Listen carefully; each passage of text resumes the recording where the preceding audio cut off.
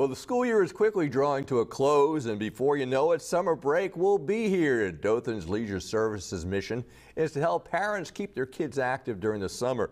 The city has announced its 2021 offerings beginning 9 in the morning on May 1st. Registration begins. They'll be hosting a variety of camps, swim lessons, special events, and Water World activities. Allison Hall says there's something for every child to enjoy. Last year, due to COVID, all the activities, of course, were canceled. This year, masks will not be required, but other CDC recommendations will be in place.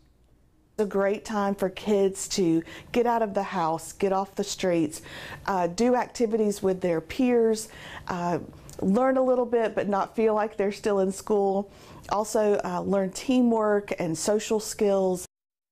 And you can find more information on the summer programs on the Dothan Leisure Services website, by the way.